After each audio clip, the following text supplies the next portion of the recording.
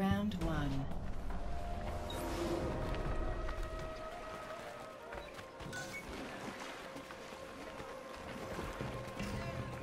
Your team has taken the lead. A new player has joined the game session.